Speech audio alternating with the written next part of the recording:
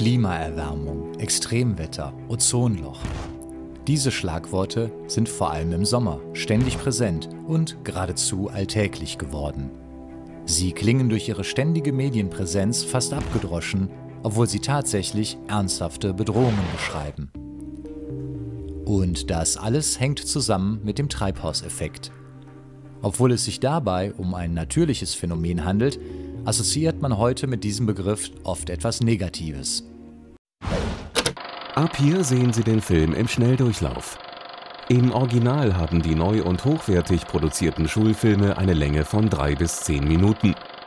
Die wichtigsten Aspekte jedes Themas werden speziell für den Einsatz im modernen Schulunterricht anschaulich aufbereitet.